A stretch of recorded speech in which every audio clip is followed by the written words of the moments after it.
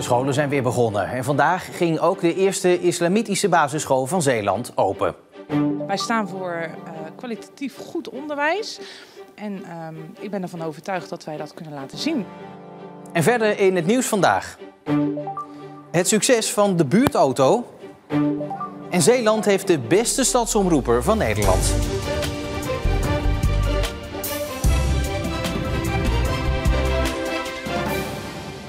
Goedenavond. Het nieuwe schooljaar is weer van start gegaan. En dat is natuurlijk altijd een bijzonder moment. Maar voor een aantal scholen is het nog net iets bijzonderder dan voor de rest. Straks gaan we het hebben over de eerste dag van de nieuwe islamitische basisschool in Vlissingen. Maar we beginnen met slecht nieuws uit Hengsdijk. Daar hebben basisschool het Vogelnest en Peuterspeelzaal het hobbelpaardje op deze eerste schooldag bekend moeten maken dat ze noodgedwongen de deuren moeten sluiten. Wanneer ze dat gaan doen, dat is nog niet duidelijk, maar lang gaat het niet meer duren. Het aantal kinderen op de school is simpelweg te klein. Ik praat er in de studio over verder met verslaggever Jannes Goedbloed.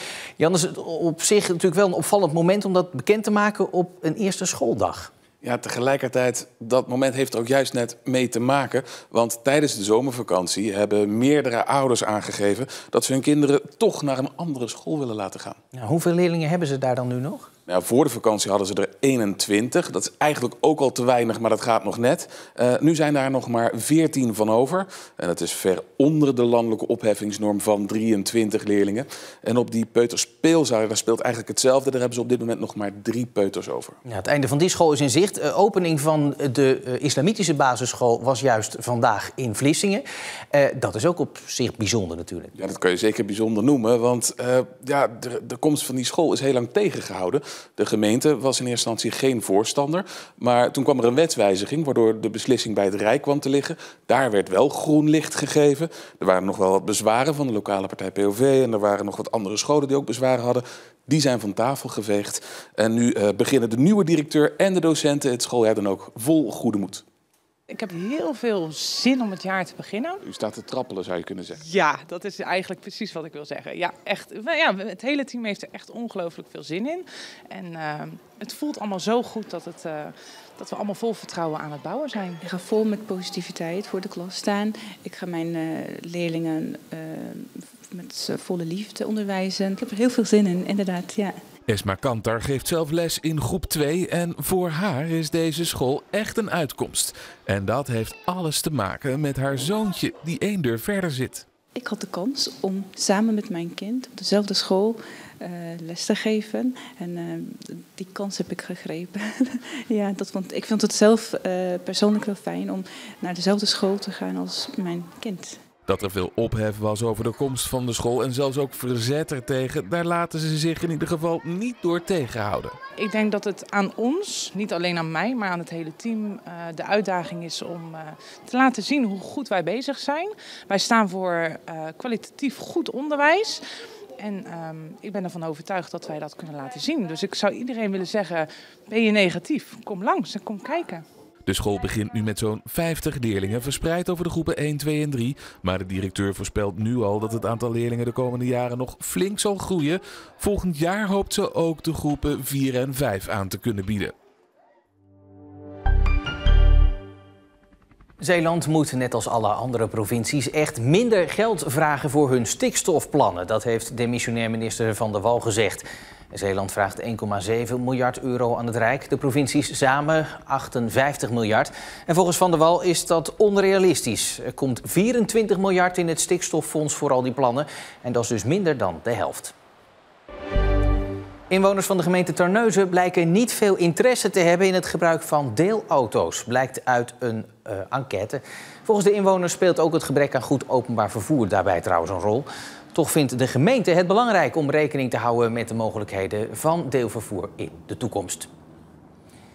En aan de andere kant van de provincie, op Schouwen-Duiveland, worden juist de eerste stappen met nieuw vervoer al gezet. Daar wordt gewerkt met een deelauto. Een dienst die je zo even naar de markt of de kapper kan brengen, zonder dat je de hele tijd bijvoorbeeld een beroep hoeft te doen op familie. U spreekt met de buurtauto, met Karin. Goedemiddag. Ik zal eens even kijken. Iedere dag weer stromen de telefoontjes binnen bij Karin Boot. Zij is planner van de buurtauto Schouwen-Duiveland, die met name door ouderen wordt ingeschakeld. Vrijwillige chauffeurs gaan vervolgens op pad om mensen zoals mevrouw Kuiper een fijne dag te bezorgen. Goedemorgen, mevrouw Kuiper. Els Kuiper wordt deze maand 87 jaar en schakelt de buurtauto regelmatig in. Bob van der Valk, 76 pas, is een van de chauffeurs. Ja, ga maar lekker zitten. Zit hier geld allemaal in dit dat tas? We hebben nu een auto in uh, Burghaamstede, Zonnemer en in uh, Bruinisse staan. Naar de kapper, pedicure, uh, naar de supermarkt, naar een vriendin, familielid. Nou goed, je hebt lekker weer, dat scheelt al. Ja, eerlijk, gelukkig geen regen, want gisteren werd er regen vannacht groot. Mevrouw Kuiper gaat vandaag vanuit Westenschouwen naar de markt in Renesse. Dat ritje kost haar in totaal zo'n 4 euro. De buurtauto is dus een goedkope taxi, maar volgens de stichting SD op weg geen oneerlijke concurrentie. Nee, we hebben afspraken.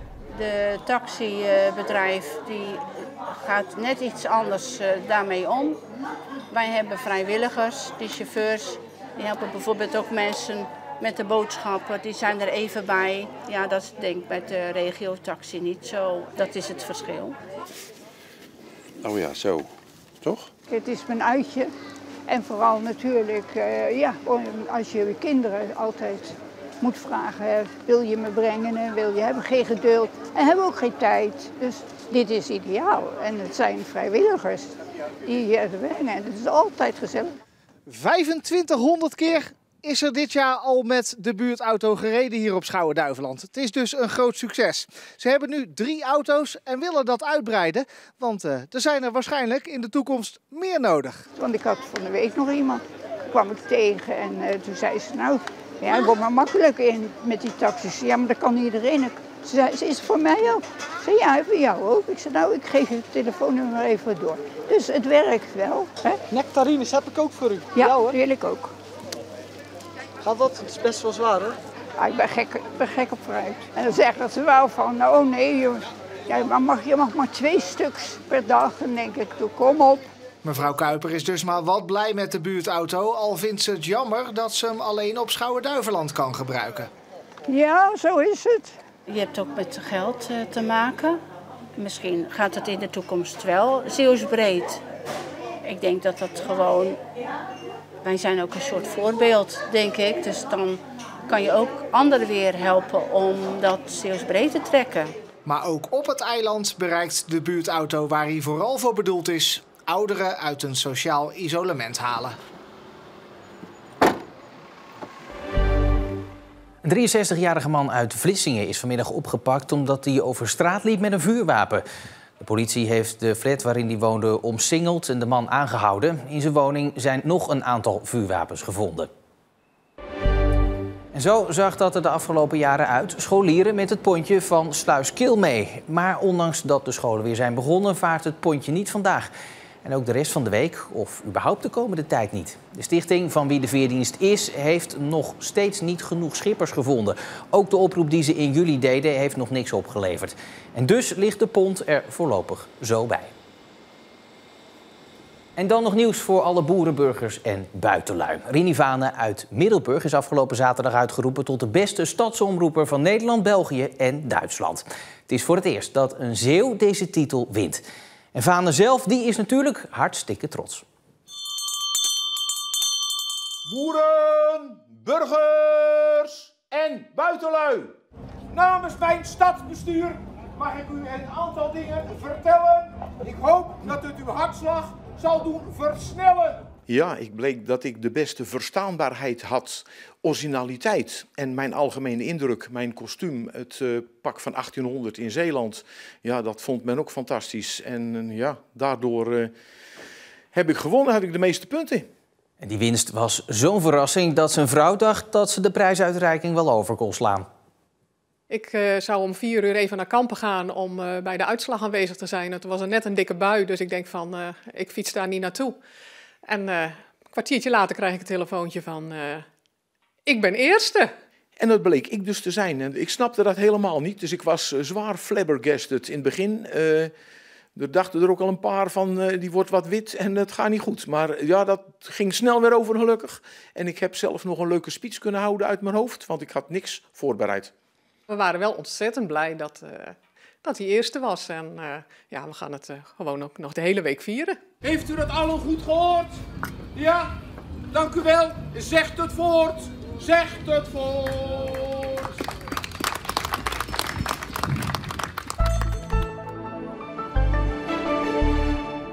Het was duidelijk minder buiig dan gisteren, maar geregeld werd de lucht toch nogal donker en viel er af en toe ook nog wel wat regen uit.